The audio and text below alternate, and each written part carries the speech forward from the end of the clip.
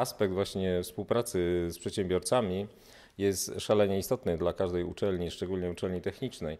Stąd dzisiejsza umowa jest, y, uważam, bardzo ważna dla Politechniki Opolskiej. Oferta odbywania praktyk, realizacji różnych staży y, w Polsce i za granicą dla młodych ludzi i jest naprawdę bardzo interesująca. Przyszłość zakładów to właśnie w młodych ludziach, ludziach, którzy chcą w swoim fachu być dobrymi fachowcami. I tu widzimy zaplecze naszych zakładów. Izba Rzemieślnicza to ogromny potencjał różnych przedsiębiorców z różnych branż, stosujących różne technologie, niekiedy technologie na bardzo wysokim poziomie. W tej chwili jak najbardziej tu właśnie jest potrzebna duża wiedza.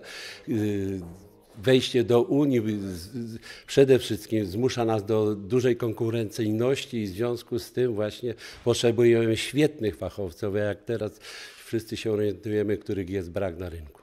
No jest szansa, że ta wiedza teoretyczna, którą tutaj przekazujemy w ramach naszych zajęć, będzie okazja do jej zweryfikowania właśnie w czasie staży czy praktyk.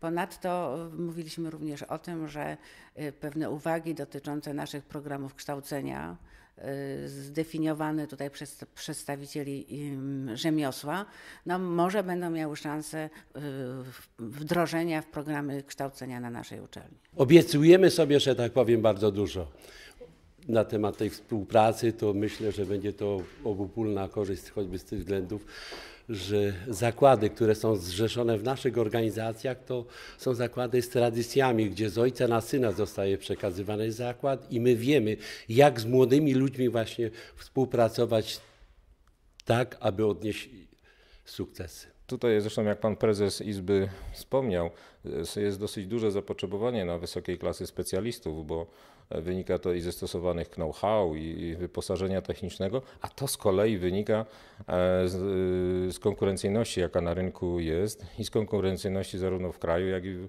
warunkach europejskich. Więc myślę, że tutaj te dwie strony naturalnie i w sposób taki bardzo efektywny ze sobą będą współpracować.